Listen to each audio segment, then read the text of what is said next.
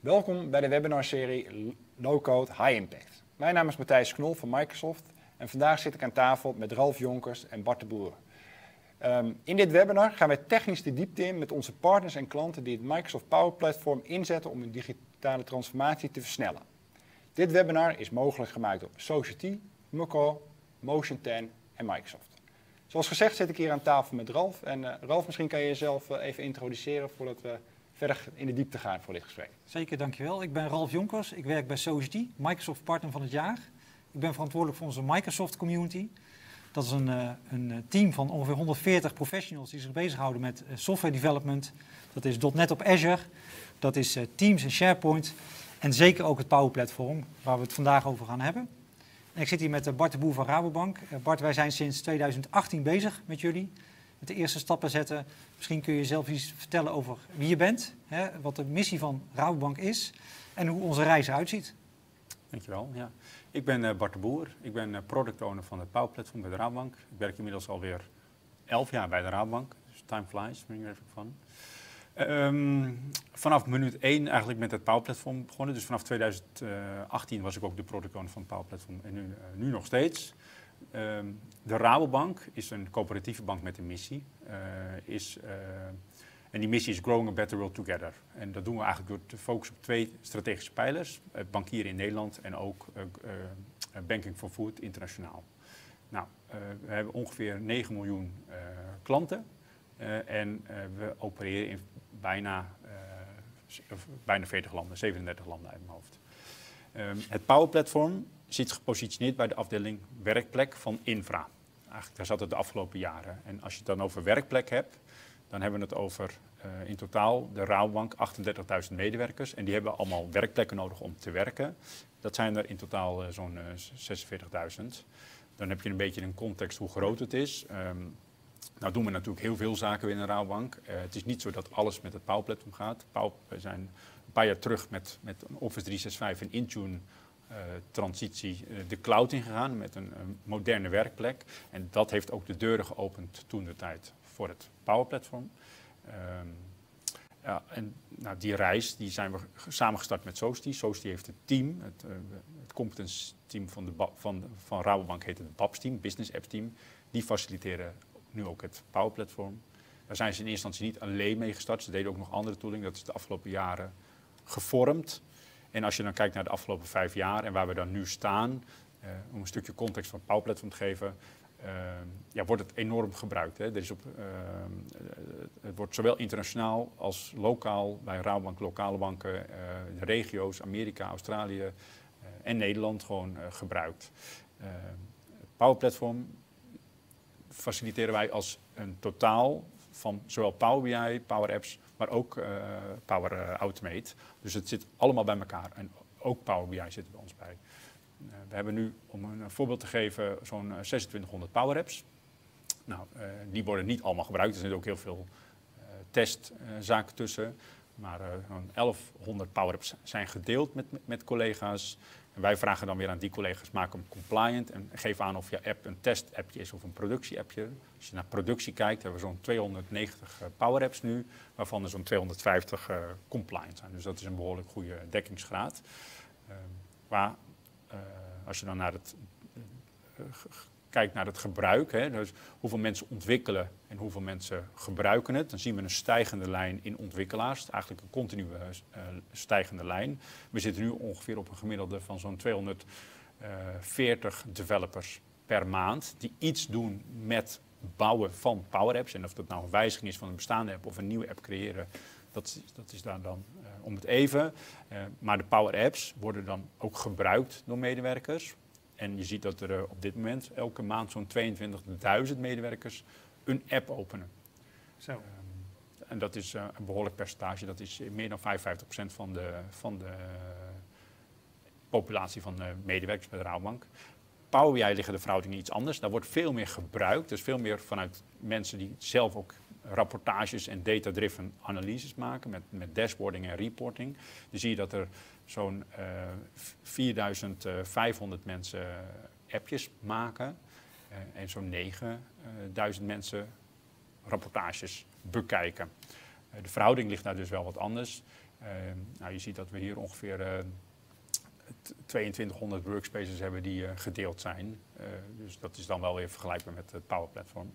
Eh, en als je dan kijkt waar we nu mee bezig zijn, is het eh, zowel adoptiewerk als eh, het aanbieden van de dienst. En de dienst is eigenlijk meer, meervoudig. We proberen mensen zelf self-service te laten enabelen.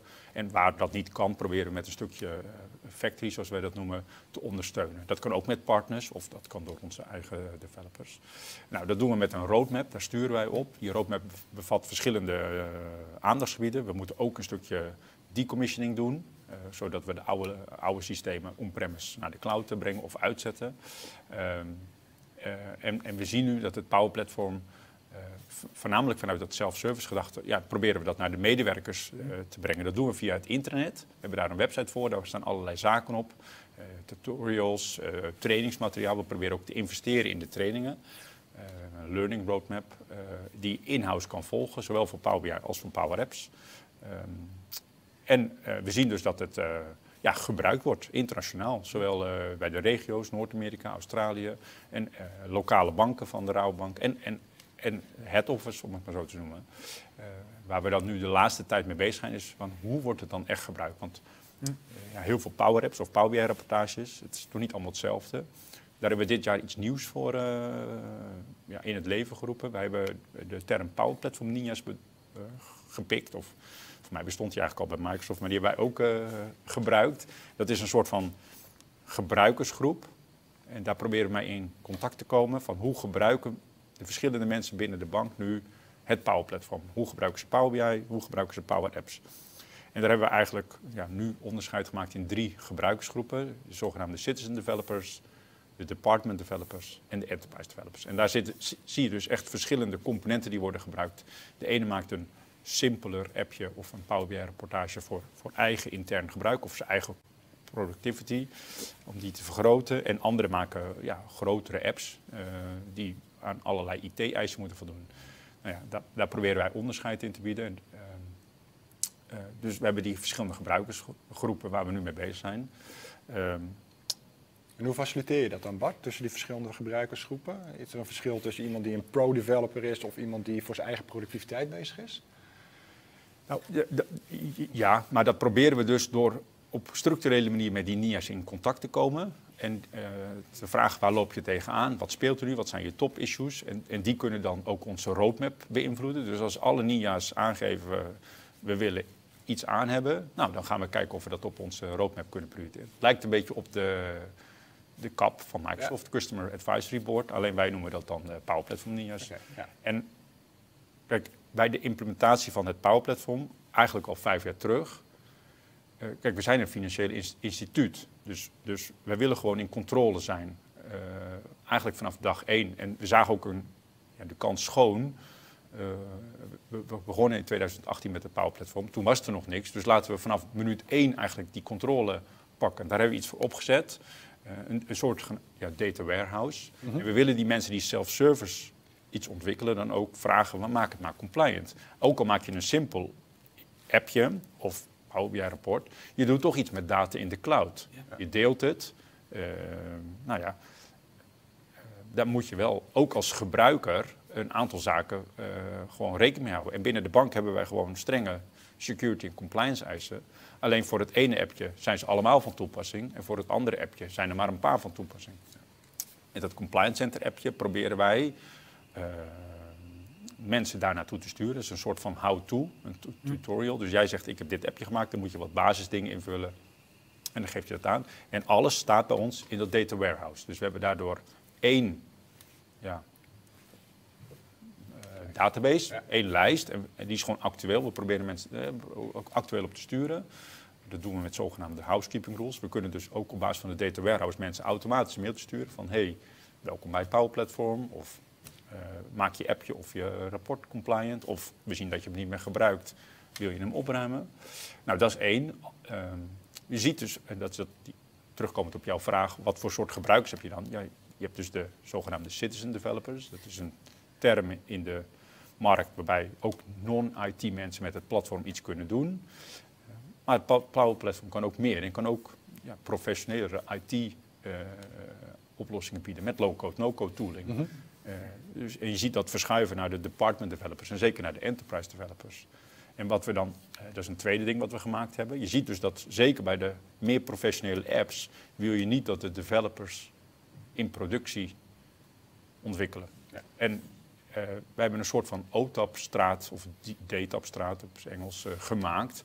Eh, kan met environments in het Power Platform, dit geldt voornamelijk met het Power Apps stuk, nog niet Ja. zozeer voor het Power BI stuk, daar zijn we nog mee bezig, dat staat bij ons op de roadmap. Maar voor Power Apps kan je dus een soort van omgeving maken, die wordt automatisch gedeployed. Dan kan je een soort van OTAP-straat namaken in de productietenant. Dus het draait allemaal wel in de cloud. Maar je kan zeggen, dit is mijn ontwikkelomgeving en dat is mijn productieomgeving. En met de andere app, dat noemen we de ALM-app, kan je dan je oplossing van de ene omgeving naar de andere transformeren. En dat is allemaal self-service voor mensen? We proberen dat voornamelijk met self-service via onze website aan te bieden. Ehm, nou, je ziet ook, en dat is af, de afgelopen jaren, en dat is het derde punt waar we vandaag eh, met jullie over willen hebben, is de.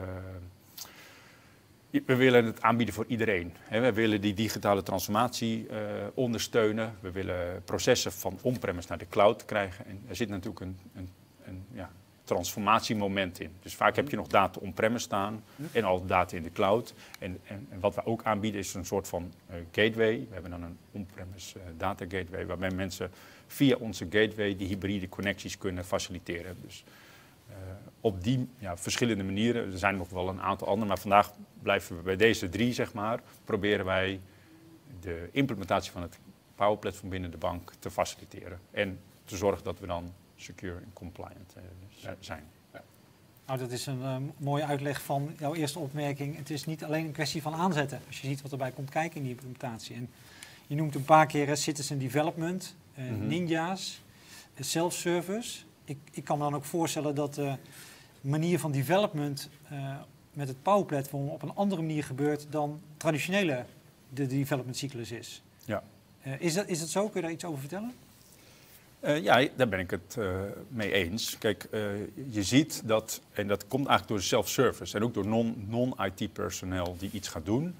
Vroeger, als je als business owner of ja, business ja, afdeling iets wilde en je had een IT-oplossing nodig, dan moest je langs een aantal ja, poortjes. Je moest Mhm. met IT in gesprek, van kan het gemaakt of gekocht worden. Je moest met eh, inkoop in gesprek of met architecten in gesprek. Dat waren allemaal soort van checkpoortjes van zijn we met de goede dingen bezig? Hoeveel tijd kost het? Hoeveel geld kost het? Welke eh, oplossing kiezen we? En als je dan eh, iets had bedacht, dan moest je nog met security in gesprek van hoe gaan we dat dan regelen? En met, misschien wel met legal of met privacy of met risk. Dat waren Ja. allemaal checkpoortjes. En uiteindelijk, aan het einde van het traject, werd er iets opgeleverd. Ook dat werd al agile gedaan, dus het klinkt misschien nu wel in dit verhaal heel, heel langdradig. En dat is zeker niet zo, maar er zaten zeker een aantal checkpoortjes. En nou met self-service zie je dat er echt een, een verandering komt.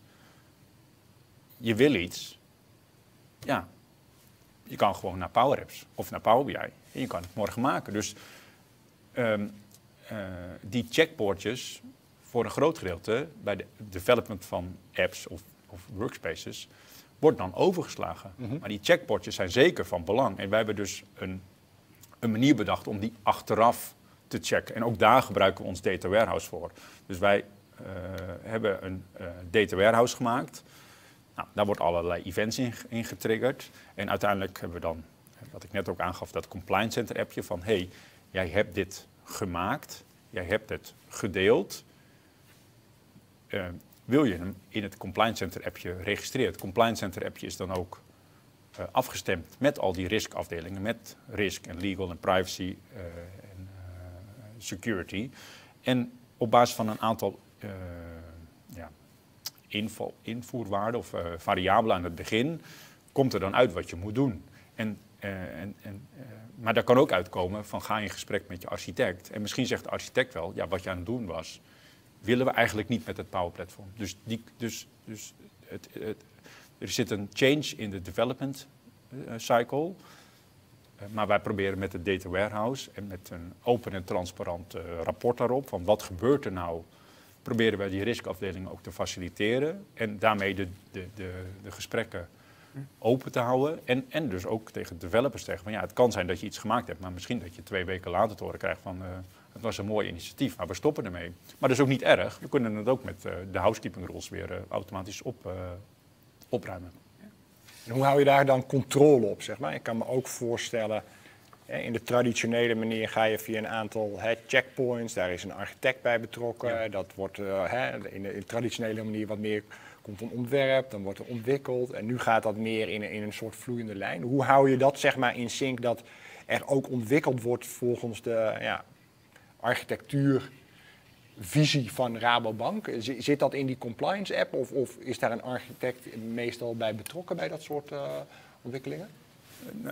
Nou, deels. Kijk, uh, het, uh, het team wat het faciliteert, dat noemen wij het BAPS-team of Business Apps Team.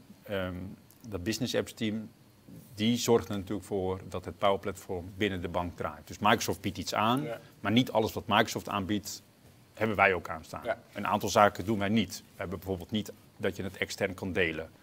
Um, een ander ding wat wij niet hebben is niet alle connectors op het Power Platform staan aan. Ja. Wij willen niet dat je een mailtje zomaar automatisch op Facebook kan zetten. Ja. Om maar een voorbeeld te noemen. Nou, die connectors staan dicht. Dat doet ons team. Dus wij zorgen dat er een aantal kaders ingesteld zijn. Dat doen we met, uh, ja, dat heet dan binnen het Power Platform DLP rules, DLP settings. Daar hebben we een aantal kaders gedaan. We hebben nog een aantal andere zaken afgeschermd. En binnen de kaders bieden wij de self-service oplossing aan. Um, het Compliance Center appje is daarna dan een soort van ja, middel zo voor, voor, ons om in controle te komen van wat gebeurt er dan. Mm -hmm. Maar ook als een soort, het dient ook als een soort van gespreksonderwerp met die riskafdelingen en de businesspartij die iets maakt van ben je met de goede dingen bezig. En, en, en we proberen ze te helpen. Het is dus ja, het is echt een combinatie van de riskprocessen zijn nog best wel, uh, kunnen soms best omslachtig zijn. En wij proberen met die how-to mensen echt te bedienen van, nou je bent met dit bezig, op basis van de variabelen schatten we in dat het een low-risk app is met weinig privacydata. Nou, dan hoef je niet alle checks te doen.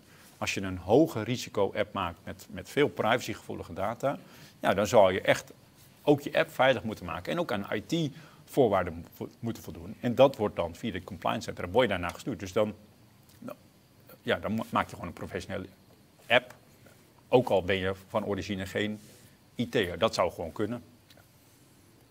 En, en hiermee, als ik je goed begrijp, heb je ook meteen een antwoord op ja, wat we bij veel organisaties zien die hiermee willen starten. Uh, die bang zijn om controle en grip te verliezen, omdat ineens uh, iedereen, elke business owner met app development aan de slag gaat. Van, hey, hoe hou je daar nou toch grip op? En, en, jullie doen dat met die database, met die Compliance Center, Center app. Ja. Um, kun, kun je daar iets meer over vertellen? Ja, ik, moet, eh, of ik word wel eens vaker gevraagd voor presentaties. En, en, en, een aantal van de tips die we dan meegeven is: hè, wil je het compliant of wil je het Power Platform implementeren? Hou, hou, hou het gebruik, uh, de threshold om te starten, hou die laag. Hè, zorg dat mensen makkelijk aan de slag kunnen. Ja. Maar zorg ook vanaf dag één dat je in controle komt. Nou, wij hebben dat toen de tijd met een soort van custom data warehouse gemaakt. Ehm, hier zie je trouwens een voorbeeldje van hoe, de, hoe zo'n housekeeping rule werkt. Um, um, maar je ziet dus dat um, tegenwoordig Microsoft ook de Center of Excellence Kit biedt. En eigenlijk Zeker. bieden ze daarmee al een, een hoge mate van, uh, ja, van uh, controle aan vanaf minuut één. Maar ik zou dan adviseren om, die, om dat te gebruiken. Ja. wij hebben uiteindelijk zelf een data warehouse gemaakt. En Sander zal er straks wat meer over vertellen. Maar uh, uh, ja, die, die, die, wij hebben zoveel events, omdat we zowel Power BI als Power Apps uh, behandelen, zeg maar. Dat, dat, dat is ook nog op dit moment iets wat bij het Center of Excellence Kit nog niet ondersteund wordt. Dat, we, dat wij dat met een custom oplossing hebben gedaan. En Microsoft adviseert ook, bouw die custom oplossing. En, en eigenlijk wat zij adviseren hebben wij eigenlijk ook al in een vroeg stadium op dezelfde soort manier samen met die toen, toen neergezet. Ja. en, en zo proberen wij dan die grip daarop te houden. En uh, wat me triggert, hè, want je zei in het begin, hè, regels is, is heel belangrijk hè, voor, de, voor Rabobank. Mm -hmm. Um, die veranderen ook, kan ik me voorstellen, door het jaar heen of door de jaren heen. En je zei in het begin hoeveel apps er inmiddels ontwikkeld zijn. Ja. Uh, hoe gaat het nou in, de, in zijn werk als er halverwege een jaar of hè, na de ontstaan van zo'n applicatie regels veranderen, waardoor er aan nieuwe wet en regelgeving voldaan moet worden? Hoe komt dat weer terug bij de creators, bij de business owners die die apps hebben gemaakt? Worden ze dan gevraagd om dat aan te passen? Uh, ja. ja. Kijk, we zijn nu vijf jaar bezig. We zijn zeg maar begin 2018 gestart. Je ziet dat we als, als bank en ook als team en ook als platform door verschillende fases heen zijn gegaan. En we zijn niet vanaf minuut één uh, gestart met waar we nu staan, met een, multidisciplinaire roadmap. En de eerste paar jaar hebben we ook helemaal niks, niet zoveel aan adoptie gedaan. We hebben wel die threshold zo laag gemaakt dat daardoor een soort van olievlekwerking is ontstaan. Maar we, uh, we hebben weinig aan adoptie gedaan. We hebben wel veel in het begin gedaan om in controle te komen. En we hebben dus die data warehouse, dat data warehouse en dat compliance center heb je vanaf dag één proberen op te zetten. Ja, ja. Uh, maar dat is al een aantal keer in de afgelopen jaren doorontwikkeld. We zijn bijvoorbeeld eerst gestart met uh, iets met SharePoint. En dat liep al vrij snel vol. En dat werd zogenaamd getrotteld, zoals Microsoft dat noemt. En, en toen hebben we op, iets opgezet met een combinatie is van, van uh, Power Apps componenten met Azure componenten. Om, om die, om die data-events uh, en al, al die registraties te kunnen afhandelen.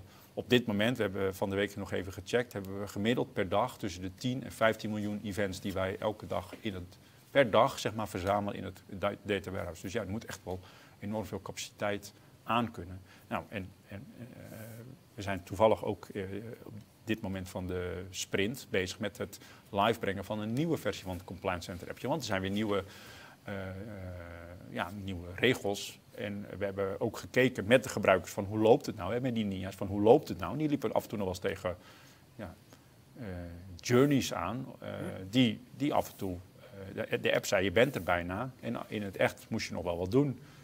En die mismatch, ja, dat zat in het proces. En toen zijn we met de risk professionals in gesprek gegaan van hey, we lopen hier tegenaan en onze klanten lopen, of onze interne medewerkers lopen hier tegenaan.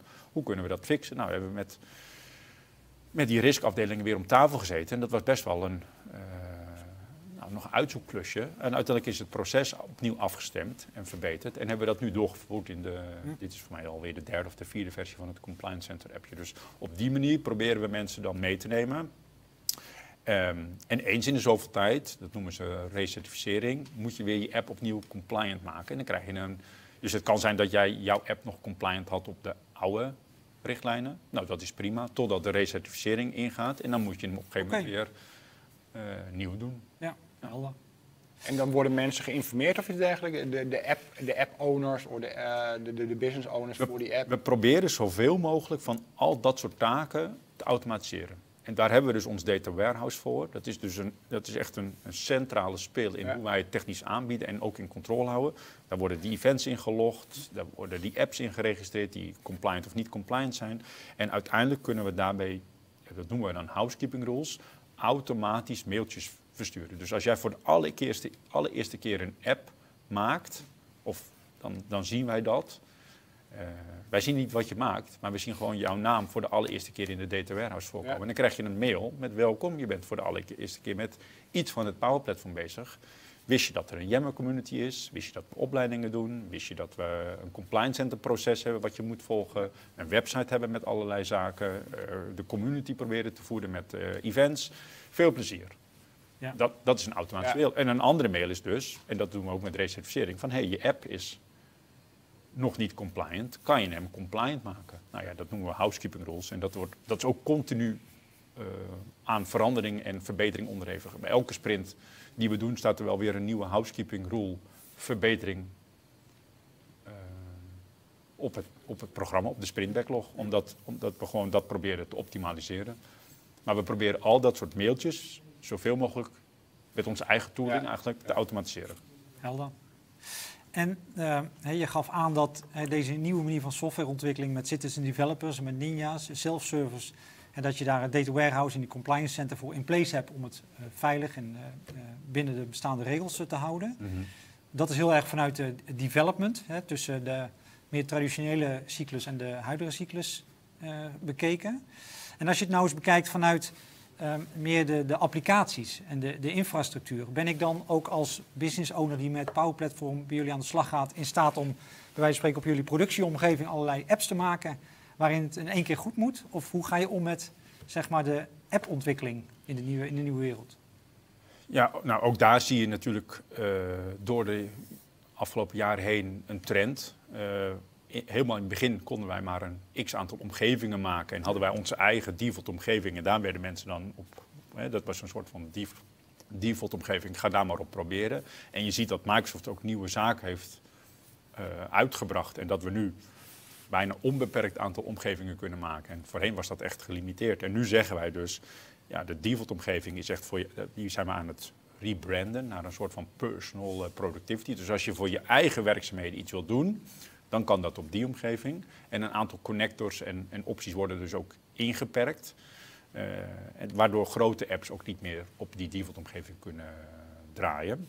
En dan wordt gezegd, maak je eigen omgeving aan. En nou, dat doen we met een uh, environment manager. Um, en ja, daar moet je dan je appje voor registreren in een soort van Power App. Wij hebben daar weer een Power App voor gemaakt. Je registreert jezelf daarin. Je drukt op de knop, even simpel gezegd. Nou, Sander zal straks vertellen wat er, wat er echt gebeurt. Maar, en dan wordt er een omgeving gemaakt. En dan kan je dus je eigen ontwikkel of je eigen test of je eigen productieomgeving maken. En uh, ja, dat doet het Compliance Center proces ook. Hè. Wij proberen als team, wij zijn echt faciliterend. Wij zijn de platform-eigenaren en wij zijn niet de eigenaar van de apps. Je bent zelf als eigenaar van een app, of je nou een IT-achtergrond hebt of niet, zelf verantwoordelijk om hem te beheren, sowieso functioneel, maar ook dat je voldoet aan de juiste stappen. Dus de, de verantwoordelijkheid ligt bij de, de bouwers, de citizen, de bouwers, de self-service bouwers, de, de business owners die daar weer verantwoordelijk voor zijn. En kijk, als je meer geavanceerde apps maakt, de, we, gaven aan dat we natuurlijk de citizen developers faciliteren, maar ook de department developers en de enterprise developers. Ja, die, die enterprise developers, er zijn gewoon binnen de bank, binnen de uh, financiële instituut, zijn er regels. En wij willen niet dat de developers zelf op elk moment van de dag code kunnen wijzigen in apps die in productie zijn. Dat is gewoon een algemene richtlijn. Dat mag niet. En uh, nou ja, in principe kan dat met Power Apps natuurlijk. Dat kon wel. Je kan een appje maken, delen. Is het nou een testappje of is het een productieappje? Daar zat nog geen uh, ja, versioning in. Ja, er zit wel iets van versioning in, maar niet van weten we nou of het een echt appje is of een testappje is. Ja. Met die Environment Manager app proberen we dus apps te maken. En met die Application Lifecycle Management proberen we ervoor te zorgen dat die programmeur geen toegang heeft tot de productieomgeving. Dat gaat met automatic deployment pipelines. Ja.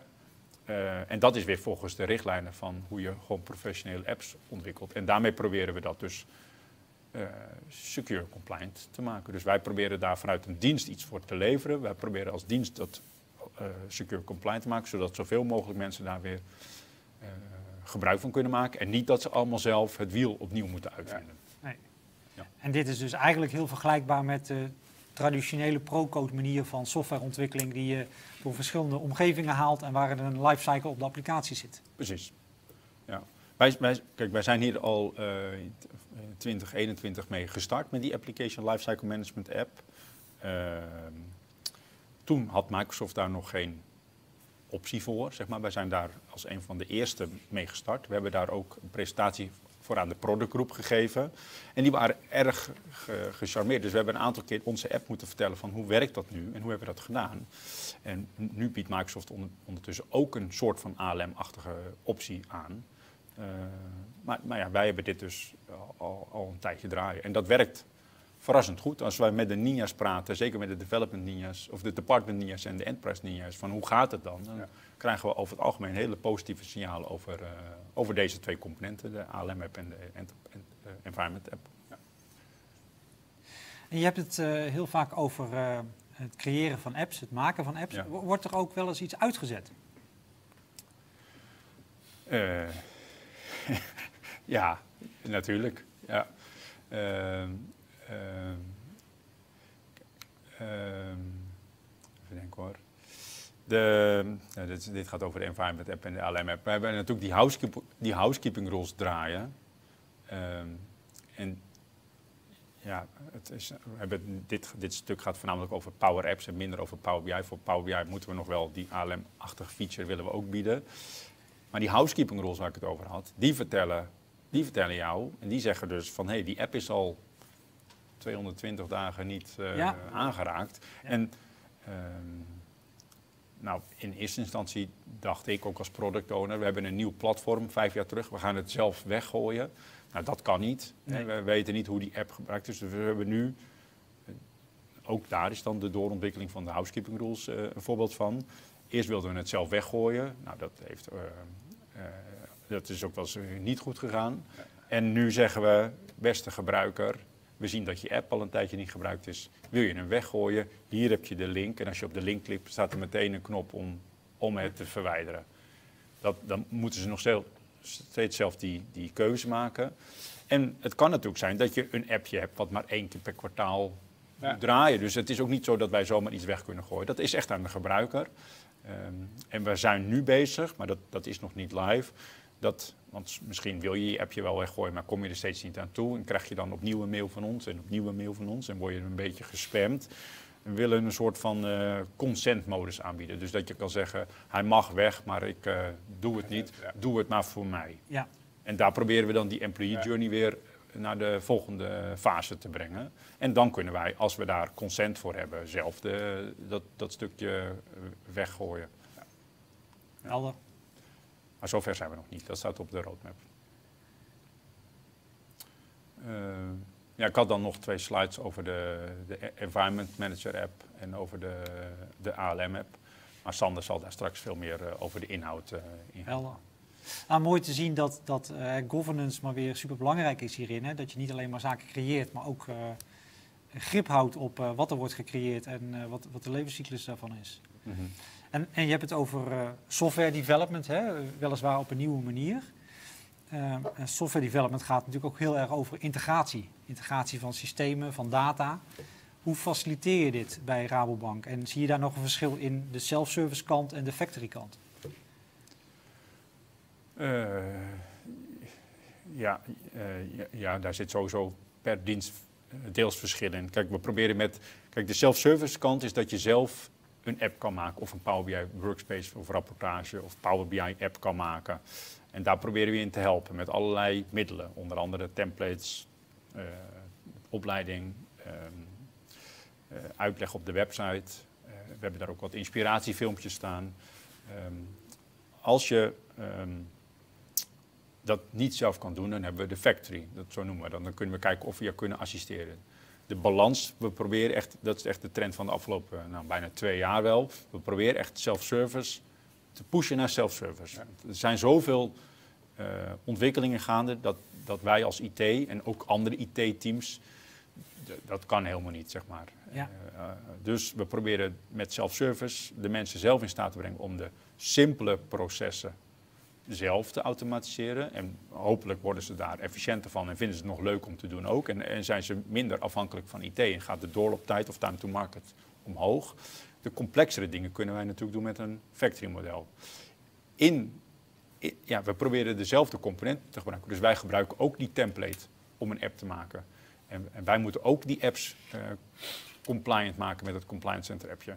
En als je een app wil maken, zowel self-service als via de factory, dat maakt eigenlijk niet zoveel uit. En, en die moet iets met data doen, ja, dan moeten wij met je in gesprek, of je mag zelf in gesprek met, nou, waar staat die data dan? En zeker in, in, een, in een transformatie van een on-prem werken naar een cloud-beweging, zit er nog heel veel data on-premise. Er zit ook data in Azure. Nou, het Power Platform biedt heel veel opties om allerlei connecties te maken. Dat kunnen we dus ook afschermen met die DLP-rules. In die, die personal productivity omgeving kan je straks niet meer alle connecties maken. Bijvoorbeeld naar Azure, dat kan dan niet. Als je dan echt een Azure meer complexe connectie wil hebben, dan zou je je eigen omgeving moeten maken en registreren volgens de juiste manier. Dan, word je ook wel, dan ga je naar de next stap van, van professionaliteit. Maar als je voor jezelf iets wil doen, en of dat nou data on-premise is of niet, dan bieden wij een gateway aan. En eh, in eerste instantie was dat één server. En op een gegeven moment zagen we dat er veel meer connecties op kwamen. werden er twee servers. Werd het al geclusterd. En nu zie je dat er zoveel mensen gebruik van maken dat we dat weer geüpgrade hebben. Dat is ook een van die doorontwikkelingen. En we zitten nu alweer met eh, vier, cluster, eh, vier servers, een cluster van vier servers. Dat betekent niet dat dat de enige gateway is. Kijk, wij bieden het aan als een dienst. Wil je iets gebruiken, heb je een hybride connectie, dan kan je bij ons de, de deur gebruiken. Ehm, maar eh, wij als competence center zijn ook maar beperkt beschikbaar. Ehm, en bieden deze connectie alleen voor, ja, dat noemen we zeg maar de office hours aan. Ja. Dus mocht jij een app willen hebben die het ook vaker doet of nooit uitvalt, eh, met een hogere availability, ja, dan zal je zelf je eigen gateway moeten opzetten. Want dan ben je niet afhankelijk van die van ons. En, en dan kan je daar je eigen support eh 24/7 voor inrichten. Dus het is niet zo dat wij de enige deur aanbieden. Wij bieden wel gewoon als dienst aan voor iedereen. eh, nou ja, eh, maak maar een connectie hybride. En die proberen wij natuurlijk ook weer als dienst veilig te maken. Maar als je als IT-team zelf je gateway wil maken, dan kan dat ook. Alleen daar zijn wij niet het team voor. Er zijn gewoon binnen de bank geavanceerdere teams die ook over Azure gaan en over, over gateways. We noemen dat het Cloud Competence Team. Ja, die hebben allerlei richtlijnen hoe je dat moet doen. En dan moet je dat gewoon zelf organiseren. Maar dat kan. Eh, volgens mij zelfs, en dat is misschien nog wel interessant, voor Power BI en Power Apps, zeker in de regio's, want die maken ook gebruik van hybride connecties, werkt het nog een beetje anders. Dus de regio's, die pushen wij ook van maak maar sowieso je eigen connectie. Want anders moeten alle connecties via onze server in Europa lopen. Nou, dat is niet gewenst. Ja, ja. Dus we proberen, het is, dus we bieden een optie aan, je kan er gebruik van maken, maar het hoeft niet. Nou, mooi dat je ook dat eh, datacomponent op die manier hebben ingericht. En ik ben benieuwd eh, na- naar eh, de technische oplossingen. Het zal Sander straks denk ik iets meer over vertellen over hoe je dat dan daadwerkelijk hebt gerealiseerd. En dan kijken we nu naar de toekomst. Hè Bart, je zegt heel veel van, nou, we zijn in ontwikkeling, staat op de roadmap, eh, gaan we mee bezig. Kan je, kan je daar iets over vertellen van, ja, wat is nou voor het aankomende half jaar, jaar, vanuit een technisch perspectief? Waarin zijn dat nou echt dingen dat je zegt van, ja, daar willen we mee aan de slag. Eh, we weten dat er iets van Microsoft komt, we weten, daar hebben we wel bij Society bij. Hoe, ga je dat, voor- wat zijn, wat zijn daarin onderwerpen waar jullie mee aan de slag willen gaan in de aankomende... Eh, dan k- klik ik even door naar de oorspronkelijke bollenplaat. Ja. Eh, een van de dingen die bij ons hoog op de roadmap staan is decommissioning. Eh, wij hebben nog een aantal oude SharePoint servers, of nou oud, gewoon, we hebben SharePoint servers die on-premise draaien. Daar draaien applicaties op. En die applicaties die willen we naar de cloud hebben en die ser- server moet uit. Ja. Dat is een van de doelen eh, dit jaar en we hopen, we gaan ervan uit dat we dat nog voor deze zomer hebben opgelost. Dus dat is echt een heel concreet doel. We zijn dit jaar gestart met Ninja's om beter te snappen, ook als, als, vanuit een agile gedachtegoed, hoe wordt het nou gebruikt en kan ik de dienst daar beter op eh, afstemmen Mhm. en, en, en de employee journey en de medewerkers beter te faciliteren met wat ze nodig hebben. Ja. Eh, nou ja, dat is eh, via het NIA-netwerk. We zijn daar dit jaar mee gestart. Daar wordt heel erg op ingezet. En ik, ik hoop ook en ik am- ambieer ook dat wij een grotere groep NIA's hebben. We hebben er nu ongeveer eh 70 uit mijn hoofd. Mhm. En ja, ik, minimaal 100 zouden we wel moeten halen, zeg maar. Dus daar zit een ambitie op. Ehm, en qua technische doorontwikkeling zijn er een aantal zaken die eh, binnen de bank eh, gaande zijn op dit moment. Eh, vanuit de Power Platform hebben we recent pas het, eigenlijk Data First aangezet. Dat is een ontwikkeling van eind vorig jaar. En je ziet dat we nu bezig zijn om Virtual Agent aan te zetten. Nou, ook dat loopt denk ik tot aan de zomervakantie. Ja. Er spelen ook al wat gedachten over daarna met robotisering, de Power Automate eh, RPA-achtige tooling. Maar dat, dat moet nog verder vorm krijgen. Dus daar zullen wat verkennende gesprekken in eh, plaatsvinden. Misschien zijn er straks een uitbreiding van het Power Platform. Ik zeg van, eh, ik heb Power Apps, maar we gaan ook met, hè, met, met Power Virtual Agents aan de slag, met RPA, met een Power Automate. Dat komt er ook allemaal bij op het, in het hele platform, zeg maar, wat meer en meer. Ja, Power BI, Power Automate en Power Apps wordt al gefaciliteerd. Power, Pow- recent dus ook de Dataverse eh, database. Daarvoor deden we dat eigenlijk zonder die database. Je ziet nu dat wij, we hebben al een keer een eh, chatbot geprobeerd als een soort van POC. Maar je ziet nu dat er ook een groter project mee eh, wil samenwerken. Dus daar zit wat meer Ja. tractie op. Nou ja, als dat project eenmaal werkt, kunnen wij dit waarschijnlijk ook gaan aanbieden voor de medewerkers. Om hun eigen processen, en het is echt voor, die, voor de collaboration en productivity gedacht, om dat eh, te faciliteren Ja. met componenten van het Power Platform. Eh, daar moeten we nog wel een beleid op vormen. Dus ik weet ook niet of, ik, ik ga er niet vanuit dat we straks op elke website honderden chatbots hebben.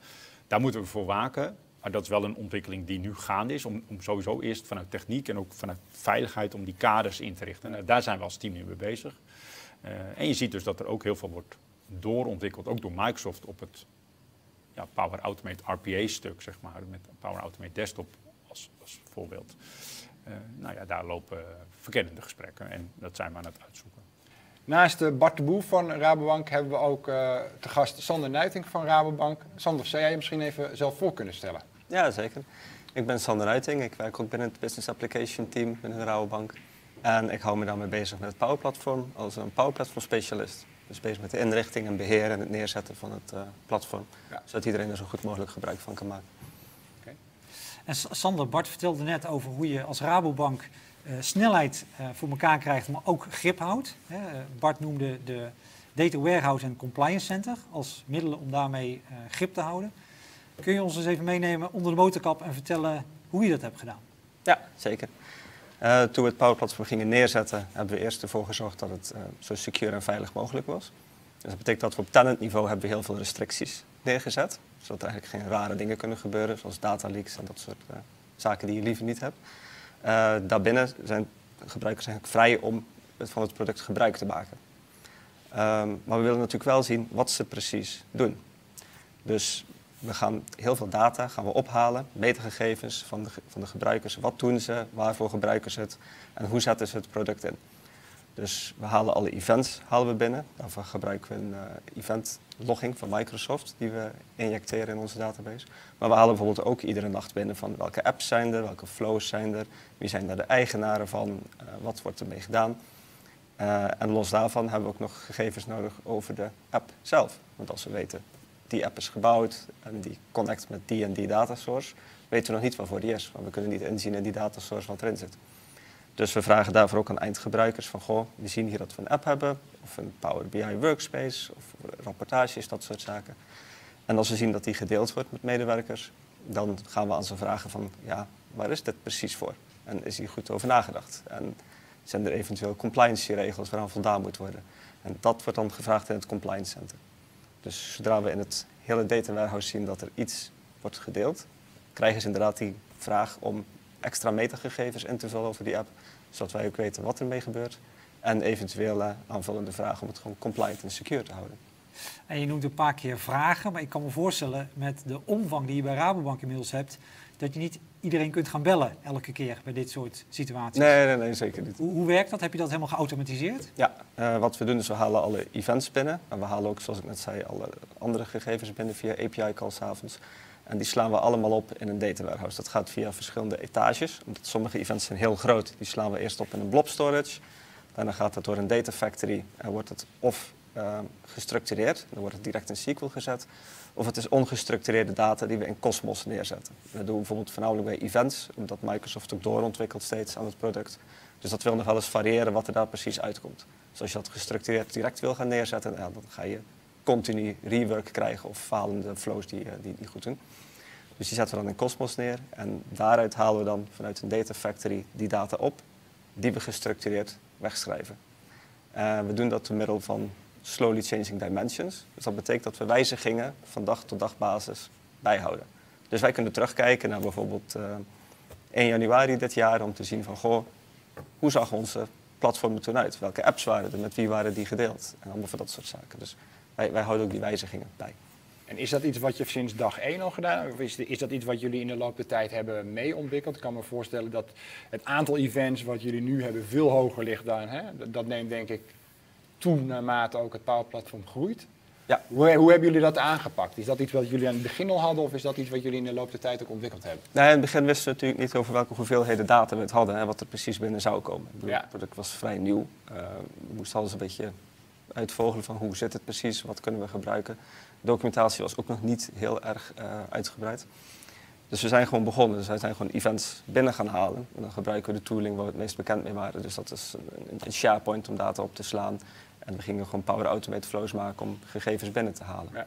Nou, toen liepen we vrij snel tegen limieten aan. Ook omdat Microsoft steeds meer limieten in hun applicaties ging bouwen. Het product werd ook mhm. doorontwikkeld aan die kant. Um, dus toen hebben we op een gegeven moment moeten afstappen van dat model. En hebben we gezegd, ja, we moeten het iets zwaarder gaan neerzetten. Dus ja. we zijn naar Azure uitgeweken. En hebben dus wat Azure producten neergezet, zoals een blob storage en een data factory. Om die grote hoeveelheden events te kunnen bewerken en verhandelen goed neer te zetten. Ja. En, en hoe, lo- is, hoe loopt dat nu, zeg maar? Is dat echt een gestroomlijnd proces wat jullie nu hebben? Of is dat nog steeds iets wat heel erg in ontwikkeling is en dat blijft in ontwikkeling naarmate ook het Power Platform groeit? Ehm, ja, we hebben het dus gebouwd dat het ontwikkeling aan kan, zoals ik net zei. Dus sommige Ja. dingen die steeds veranderen, die gaan naar een eh, ongestructureerde databaseomgeving. Eh, we zien wel dat er steeds meer dingen bij komen. Bijvoorbeeld, er komen steeds meer soorten API-calls, andere events die plaatsvinden. Ehm dataflows komt er bijvoorbeeld een virtual agent, zal ook weer andere events Ja. gaan neerzetten. Dat zit er nu nog niet in, maar dat zal komen. Ehm, dus we gaan steeds in ons data warehouse wat we hebben, dus de, de data collecteren we. Maar we zullen steeds andere housekeeping rules, andere automation jobs, andere soort informatie waar we iets over willen weten, waar we iets mee kunnen doen, zullen we ook ja, moeten aangrijpen om dat eh, Ja. neer te zetten. En je noemt de housekeeping rules. Kun je, heb je voorbeelden van een paar housekeeping rules die je gebruikt? Ja, ik zal even kort technisch samenvatten hoe het werkt. Dus we hebben ons groot eh, data warehouse en dan hebben we eh, SQL scripts draaien en die kijken gewoon dagelijks in de data warehouse gewoon views van wat zien we hier dat voor ons interessant is. We hebben vaak bijvoorbeeld een query die zegt van gewoon we zien hier alle Power BI workspaces waarin data gedeeld is en die al eh, drie maanden niet gewijzigd is. Ja, dat query die wordt dan automatisch door Data Factory kunnen wij dat zeggen in een soort ticketsysteem gezet. Dus als we tevreden zijn over de query en er komt uit wat wij willen zien, zet je dat in een ticketsysteem. Het ticketsysteem is een database. Dan krijgt hij een, allemaal ID's. We weten bijvoorbeeld dat er is een vraag over een workspace. Eh, we weten de workspace, we weten de eigenaar van de workspace, wie we moeten mailen. En dan gaat de Power Automate Flow, die maakt een mooi mail templateje. Die haalt uit de ticket, zegt hij, gewoon, we zien dat er een ticket is binnengekomen. Er is iets aan de hand, we moeten deze gebruiker even mailen. Die mailtemplate hebben we nodig, die pakt hij op, stuurt het uit, vraag staat erin, of de knop of de reactie die ze moeten geven. En de gebruiker krijgt die binnen, die weet dat hij iets moet doen. We kunnen dus ook aan het ticketsysteem zien hoe vaak heeft die gebruiker deze vraag al gekregen. Reageert hij daarop? Doet hij er iets mee? Doet hij het niet? Moeten we misschien verdere actie ondernemen? En zo eh, werken onze housekeeping rules eigenlijk. Zo. En eh, even een andere vraag. Van je, je, in deze grote omgeving, hoe groot is je team eigenlijk waarmee je dit allemaal onderhoudt? Ehm, met administrators zijn we met eh z'n vieren nu. Eentje is recentelijk bijgekomen, eentje gaat er ook nu weer iets anders doen. Dus eigenlijk drie, drie zou je het ongeveer kunnen zien. Eh, dan hebben we nog een adoptietak. Daar zit, ik denk, een man of vier in. Ik weet het niet precies zeker. En dan hebben we nog een eh, Scrum Master en een Business Analyst en een Product Owner. Bart was net aan het woord. Ehm, ja, dat, dat is een beetje het team. Oké. En, en hey, we- we hadden het over de development cyclus die verandert hè, van de pro-code naar de citizen developers, waarmee je dus het eh, data warehouse en de eh, compliance app eh, gebruikt. Een, een, andere manier om hier grip op te houden, vertelde Bart net, ging over de verschillende omgevingen en over de application lifecycle management wat je hebt ingericht. Kun je daar ook eens vertellen hoe je dat hebt geïmplementeerd? Dus als je de self-service medewerker kijkt, die gewoon voor zijn team een appje maakt om eh, een formulier makkelijk in te vullen of iets simpel te automatiseren, dan kunnen ze gewoon op de default omgeving kunnen ze werken. En dat is eh, de personal productivity omgeving en dan kunnen ze alle Office 365 connectoren gebruiken.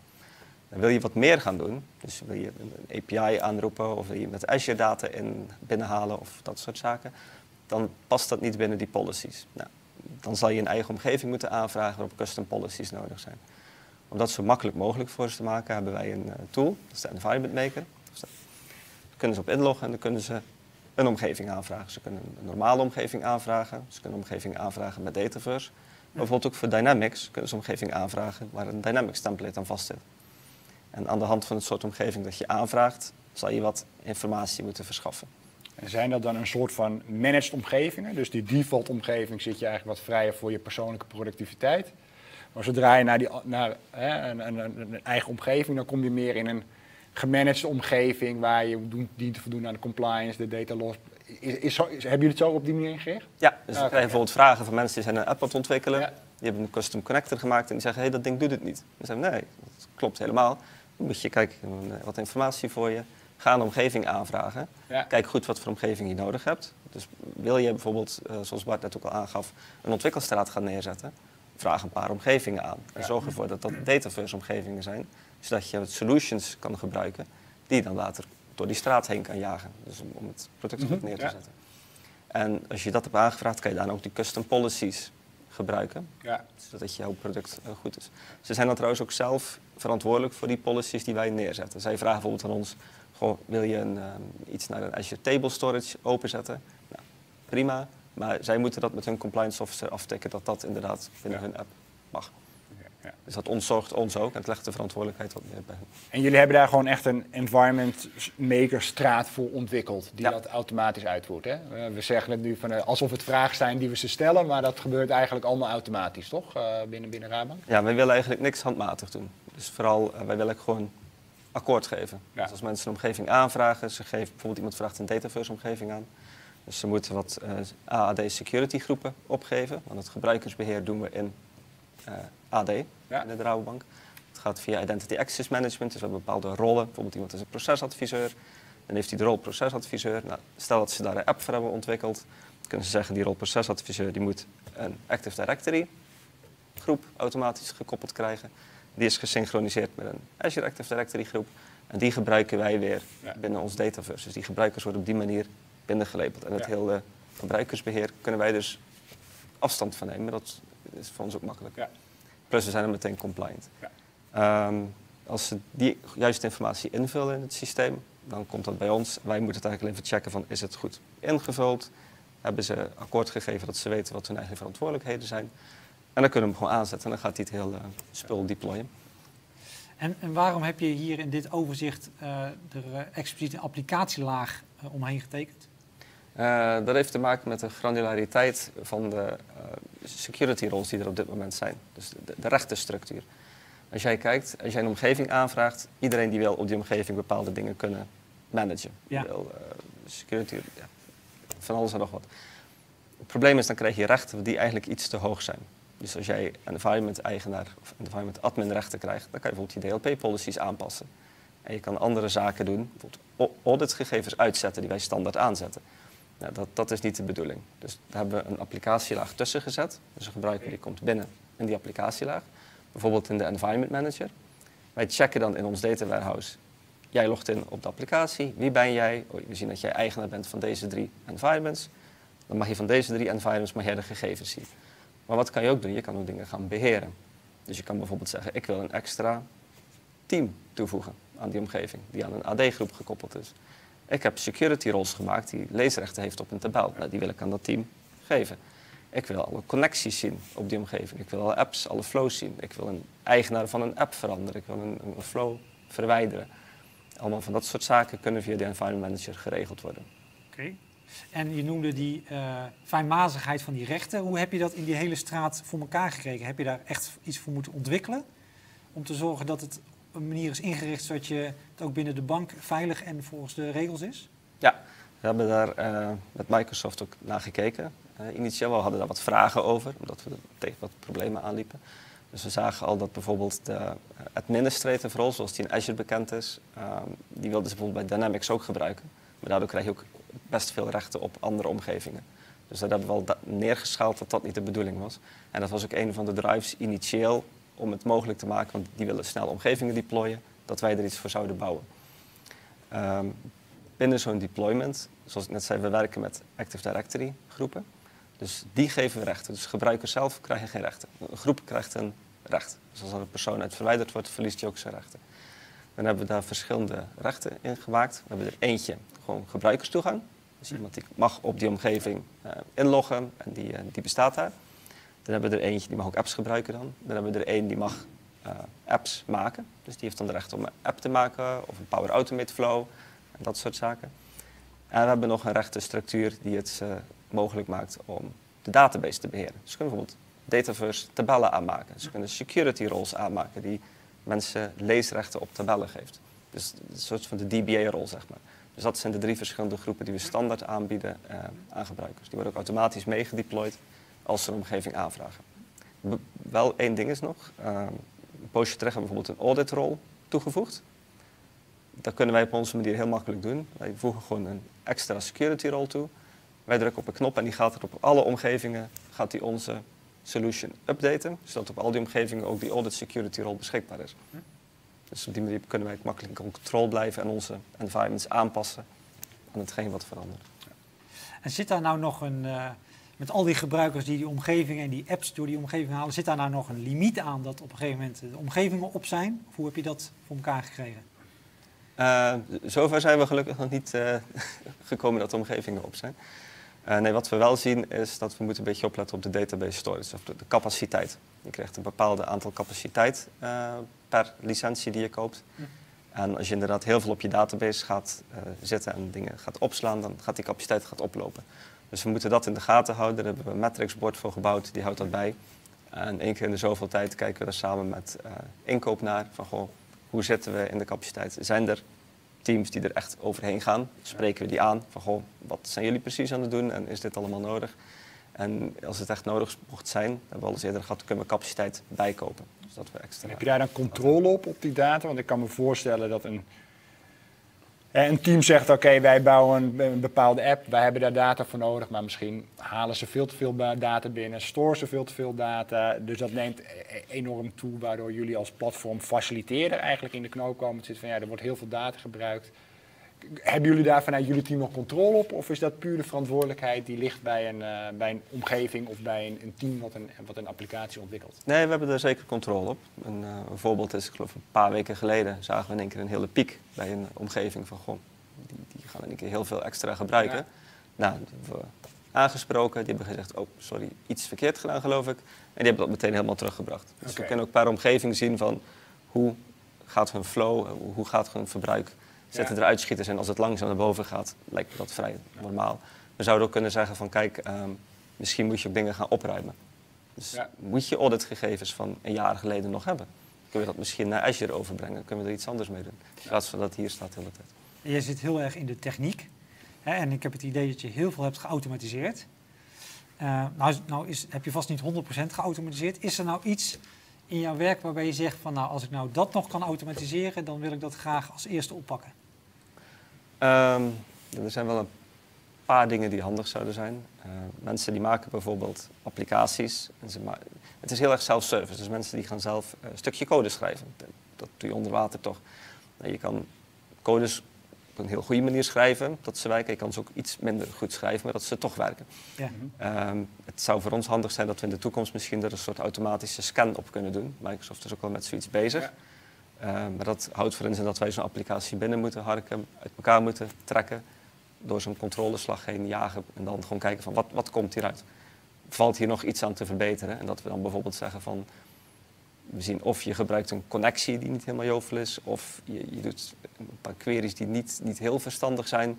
Dat kan echt beter, dat we ze dan daarmee kunnen helpen om dat recht te trekken. Dus dat, dat is daar ook een soort van uh, uh, ja, components in die reusable zijn. Hè? Dat zie ik ook best wel veel bij een, bij een aantal klanten. Hè? Die zijn nog, ja, waarom zou je een zoekfunctie bij wijze van spreken uh, meerdere malen, malen bouwen? Of, hè, misschien binnen, binnen Rabobank heb je ook andere functies. Hebben jullie daar ook een soort van reusable components die je daarin in kan zetten? Of is dat iets meer ook voor de toekomst waar je naar wil gaan kijken? We zijn er ooit mee begonnen. Uh, het, het is, ja, onze prioriteiten lagen toen niet echt daar. Dus het, het, staat nog steeds op de backlog. Ik geloof ja. dat we er een collega van me weer uh, mee begonnen, een poosje terug. Ja. Om dat goed neer te zetten. Um, dus dat we inderdaad componenten kunnen maken die ze steeds kunnen hergebruiken en die we kunnen updaten in hun applicaties.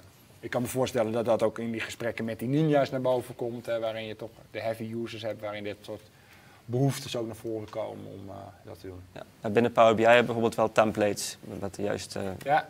Ja, style en een beetje in die, die, die, om dat uh, te kunnen gaan gebruiken. Ja, ja. Okay. ja.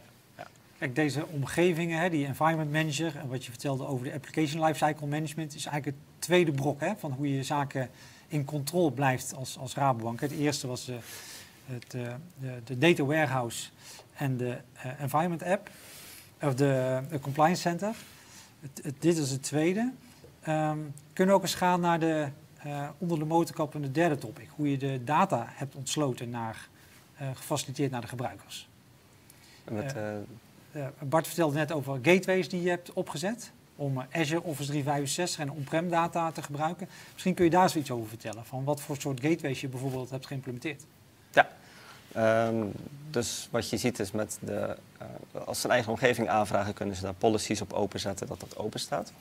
In de Power BI is dat niet zo. Dus je kan daar connecten naar cloud data. Dat, staat gewoon open. Het is alleen maar binnenhalen van data, dus je gaat nooit wegschrijven. Eh, wat we dan wel zien is, naar on-premise gaat dat niet werken, maar je hebt bepaalde firewall rules die je hebt. En tegenwoordig zien we ook al in Azure Cloud dat sommige connecties niet goed werken, omdat er nog geen eh, private endpoints beschikbaar zijn. Dus overigens is Microsoft er wel mee bezig, maar dat is nog niet general available. Ehm, wat we daarvoor kunnen doen is dat ze via onze gateway gaan. Dus wij hebben een, eh, verschillende clusters staan. Een eh, productiecluster, development cluster, acceptatiecluster. Dan kunnen ze aan ons vragen voor Power BI. Gewoon, we willen een connectie opzetten. Eh, wij maken een afspraak met ze. We zetten een connectie op naar een SQL, een Oracle, een, een custom iets, MarkLogic dingen. Azure ma- maakt niet uit, er wordt heel veel ondersteund. We zorgen ervoor dat dat juist wordt ingericht. Dus dat het liefst met een service account die connecties gebruiken, niet met personal accounts. Delen we die met die gebruiker, geven ze nog instructies van kan je op die manier gebruiken. Zo zet je je refresh, refresh schedules in. En dan kan je op die manier onze gateway gebruiken die al door alle firewalls heen kan praten, die helemaal eh, akkoord is en die wij updaten en indien mocht die ja, tegen capaciteit aanlopen, dan gaan uitbreiden. Eh, we hebben ook de mogelijkheid dat ze zelf gateways deployen.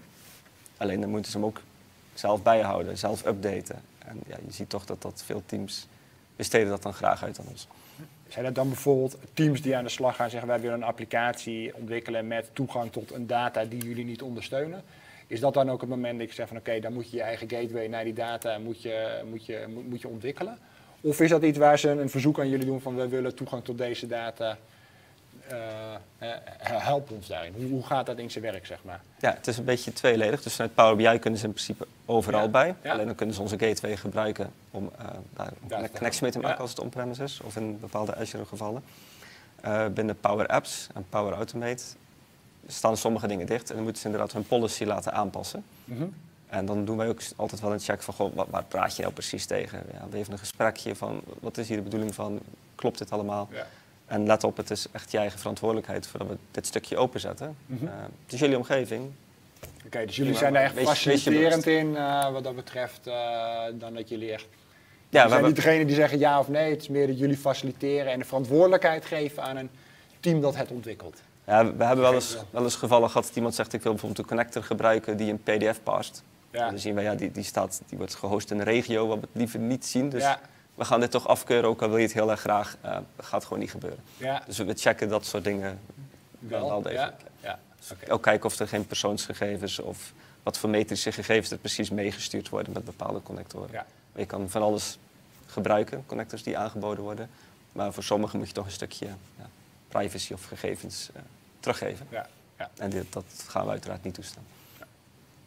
En hè, de- deze journey van Rabobank is ook heel veel technieken voor nodig. Hè, vertelde je uitvoerig over. Wat is nou iets waar jij misschien het meest trots op bent dat je dat voor elkaar hebt gekregen? Eh, dat we tevreden gebruikers hebben. Dat, ik denk dat dat het, eh, het beste is. Mensen die gebruiken onze tooling, soms lopen ze tegen dingetjes aan. En dan vragen ze van, goh, hoe, werkt dit? En dan zeggen goh, hadden wij ook niet aan gedacht. Kan gebeuren. En dan implementeren we dat voor ze. Dus bijvoorbeeld een poosje terug iemand die wilde automation accounts koppelen aan zijn omgeving. Ja, gezegd, ja, dat hebben we nu nog niet gemaakt. We hebben een pipeline voor gebouwd, geïmplementeerd de environment manager. Dus ze kunnen weer vooruit. En andere gebruikers hebben er ook weer profijt van. Ja. Dus ik denk dat we gewoon goed naar de gebruikers moeten luisteren. Van wat, wat hebben ze nodig? Eh, kijken van is dat inderdaad iets waar wij jullie mee kunnen helpen en wat goed is voor de organisatie. En zo ja, dat wij dat dan gewoon technisch mogelijk maken. Dus dat wij ze ontzorgen, dat wij ondertussen in controle zijn. En dat we precies weten wat er eh, gebeurt op ons platform. En wat vind jij nou zelf het leukste aan je werk? Eh, dat het steeds verandert. Het, eh, het, blijft eh, continu aanpassen en dingen moet je eh, nieuwe dingen neerzetten. En er worden steeds nieuwe producten bijgezet. En het, het is ook heel erg uitdagend van connectiviteit, security, compliance, tot gebruikers die iets willen. En ja, dat hele aspect samen. En van alle technische oplossingen die je hebt verteld, eh, is daar nog iets waar je zelf nog iets aan wilt toevoegen? Ehm, ja, wat, wat, ik wel zie is, wij hebben heel veel dingen gemaakt. En dan zie je dat Microsoft komt daar dan ook mee met oplossingen. Dus ik denk dat we binnenkort ook wel hopelijk afscheid kunnen nemen van onze eigen gebouwde systemen. En dat er dan wat meer robuustere dingen voor in de plaats komen. Maar ja, dat heb je met een platform dat nog in ontwikkeling is. En dan hoop ik dat we bepaalde dingen die wij hebben gezien, en dat ook kunnen vertellen aan eh, het productgroep van kijk, hier lopen wij tegenaan. We hebben altijd wel incidenten openstaan om, om het product te verbeteren en dat helpt het in totaal. Dat is een mooi voorbeeld van eh, een steeds veranderende wereld, wat je noemde. Ja, zeker. Oké, eh, in ieder geval eh, bedankt Sander en eh, bedankt Bart. Eh, bedankt Ralf ook. Eh, vandaag hebben we gesproken dus met Ralf eh, van Society en met Bart en eh, Sander van de Rabobank over de manier waarop zij hun oplossingen inzetten en eh, hoe het Power Platform hun helpt bij de digitale transformatie. Eh, wil je meer inspirerende verhalen over Power Platform horen of zien of lezen? Ga dan naar Low Code High Impact eh, pagina van Microsoft via eke.ms slash high impact met een uitroepteken. Dank jullie wel.